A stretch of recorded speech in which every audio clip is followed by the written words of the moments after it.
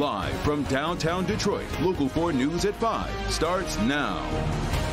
And we begin tonight with ExactTrack 4D radar tracking rain moving through Metro Detroit, and it's going to stay soggy heading into the new year.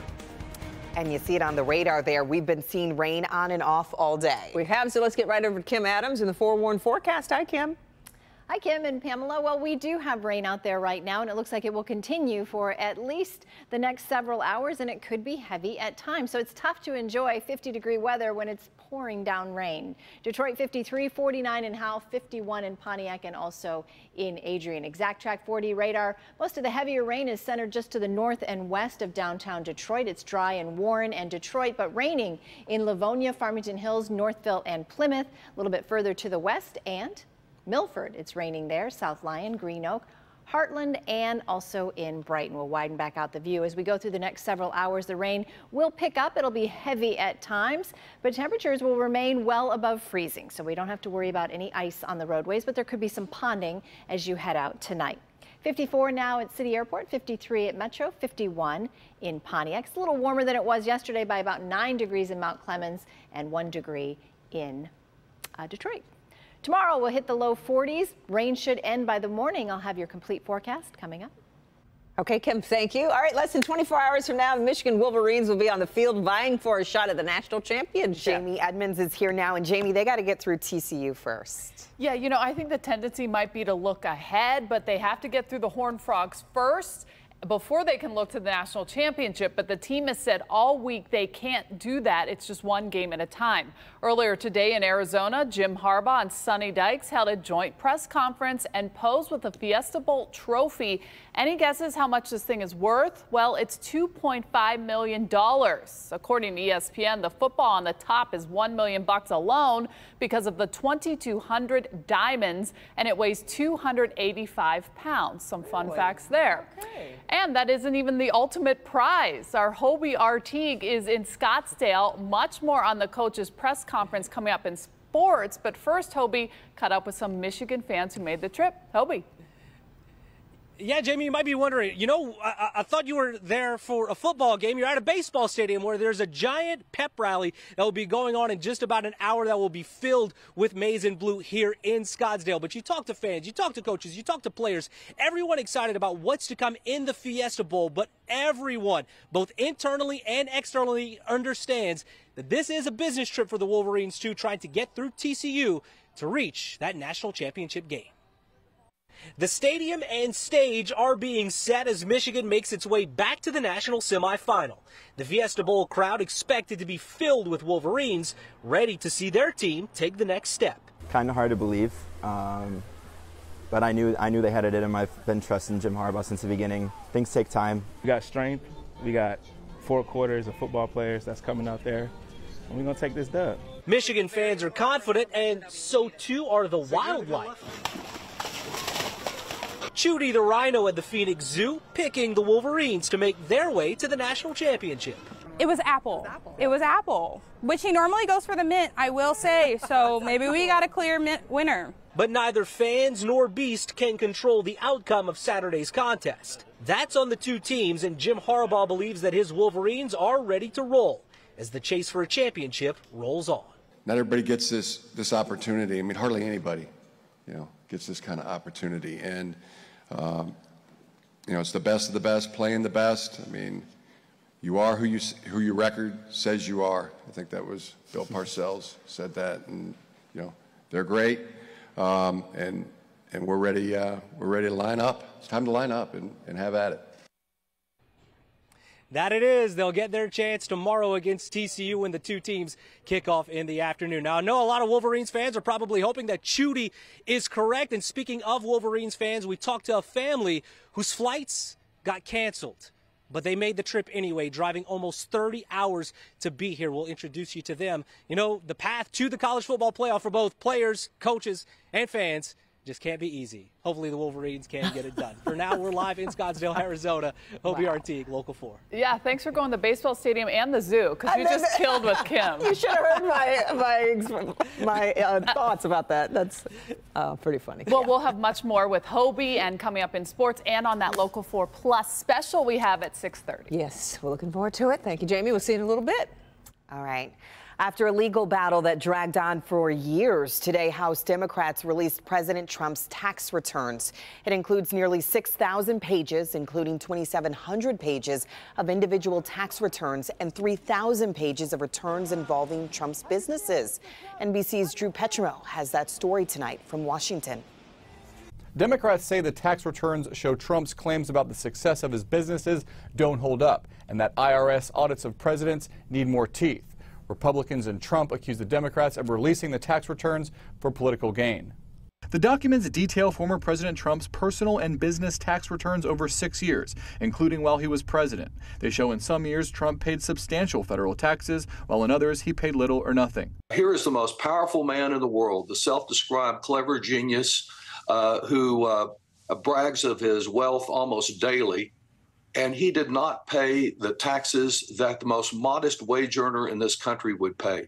Returns from 2020 show nearly all of Trump's income was offset by losses. He brought in more than $59 million, but lost more than 58 million, claiming a net income of under $800,000. After contributing substantially in prior years, the former president claimed no charitable deductions in 2020. The release of Trump's tax returns is part of an investigation spearheaded by Democrats on the House Ways and Means Committee, which found the IRS failed to audit Trump's finances during his presidency as required by law. There should be a mandatory audit so that the American public can have confidence in the president and the president's finances. In a recorded response to the release, Trump ripped Democrats and the media. It's so sad for our country. It's nothing but another deranged political witch hunt, which has been going on from the day I came down the escalator in Trump Tower. Meanwhile, Kevin Brady, the top Republican on the investigating committee, accused Democrats of weaponizing the release of private tax information, saying this is a regrettable stain on the Ways and Means Committee and Congress and will make American politics even more divisive and disheartening. In the long run, Democrats will come to regret it. One of the findings of the investigation is that the IRS does not have enough resources to comb through tax documents as complex as Trump's in order to comply with laws currently on the books. Democrats want to give the IRS more resources so that future presidents face more scrutiny. Reporting from Washington, I'm Drew Petrimoulx, Local 4. Hey, Drew, thank you. Now to an update on the murders of four Idaho college students that shocked the nation over a month ago. Police arrested a suspect today in connection with that investigation. 28 year old Brian Christopher Kohberger was arrested this morning near Scranton, Pennsylvania. He's being held on fugitive from justice charges and a first degree murder warrant. We're told a judge has ordered his extradition back to Idaho. The arrest comes as a celebration of life was planned today for two of the victims. Tomorrow night, when the clock strikes midnight, the moratorium on residential water shutoffs in the city, that is going to come to an end. But the city wants everybody to know there is help to get those past due bills paid. Nick Monacelli shows people how to apply and prevent having your water shut off. There are about 60,000 customers in the city of Detroit that are behind on their water bills. Now, DWSD does not want to shut off the water, but we're getting close to that point. However, they're giving you two options to figure this out and get on a plan. The first one is the Lifeline plan, which is a preset limit on water usage of 4,500 gallons for a fixed rate. Signing up for that plan takes some online navigating, though. You start with the city's website, and then on there is a link to the Wayne Metropolitan Community Action Agency. Once there, you click over here onto programs, then scroll down to the DWSD Lifeline plan. Then click apply which brings you to another page. If you are not registered, you'll have to do that first. Then you log in.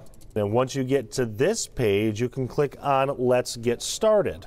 You'll have to agree to this statement, answer these questions, press next, and then you can finally begin. It is the beginning of the application process, starting with your address. Once you get the address in is when the profile really begins. You have to have an ID and you have to fill out all this information. The second option is the 10 30 50 plan, where you can make a down payment of 10%, 30%, or 50% of the past due balance. How much depends on how many payments you're already on in the past 18 months. Then the past due balance is spread over 6 to 24 months in addition to the normal monthly bill. To apply for this one, you have to sign up using the DWSD customer portal. Once in, this one is a little quicker. Put in your address, fill in the profile information, and then click on Payment Assistance, which will guide you through that process. You can see it's a little tricky, but once you get the hang of it, it's not too bad. And honestly, it's something that really needs to be done before your water gets shut off. I'm Nick Monacelli, Local 4. Information there, Nick. Thank you. Well, the Mega Millions jackpot is now up to $685 million, and that has a lot of people doing a little dreaming about what all they could do with that money to kick off 2023. But where to go to get the golden ticket? How about where somebody already won? That's exactly where our Grant Hermes went today to find out if that luck stuck. Now, regulars are hoping that lightning strikes twice at this gas station in Dearborn. Incidentally, that's about your odds of winning the whole thing, but they swear this place is lucky in that Lady Luck, she's got a place in the back. You think this place is lucky? Oh, it is. It is. At the corner of Greenfield and Warren, regulars at this Shell gas station are buying Mega Millions tickets by the handful. The winner be wonderful. My husband thought I won the last time he came home and I was gone. So he was like, she left me. Lottery hopefuls looking for another payday from this store after it sold a million dollar winning ticket during November's billion dollar Powerball run. I play my lottery here every day, and he's a nice guy. That nice guy is this nice guy. I feel like I, uh, I won. Hussein Sharaf is behind the counter and thinks whatever the secret to luck is, he's got it. I think I'm lucky person you know. So I have the family, I have my kids, I have I'm lucky. So, what to do with all that money to ring in the new year? A cash option to take home hundreds of millions could go a long way towards those charitable resolutions. If I get that money, I want to give me a couple of places for homeless, feed the homeless. You know. Yeah. You know, there's a lot of people out there and get houses and get no food. And I always wanted to do that. Or Maybe put that cash to goals that are a little more about making a change. I leave Michigan. Go where? Florida. Somewhere hot. No so, snow. And after all, the new year is for dreaming big. And what's bigger than the jackpot? I've got my winning ticket right here. You can find out the winning numbers tonight on Local 4 at 11 o'clock. In Dearborn, Grant Hermes, Local 4. All right, best of luck to everybody playing yeah, today. Love to hear all what they're going to do with everything. all right, he's been a staple in the community for close to five decades. Why this pizza shop owner says now is the right time to hang up his apron. And they weren't just going to give up. State troopers make an adorable rescue in Saginaw. We'll take you inside next. She was a beautiful person who saved lives here at Sinai Grace Hospital. Then this week, she was rushed to Sinai Grace after a carjacker took her life. Not for a Dodge journey. She would have gave up the, the keys, the wallet, anything. Live at 5:15, the family of Tracy Golden speaking out to me tonight, and there's late-breaking developments in the search for that gunman.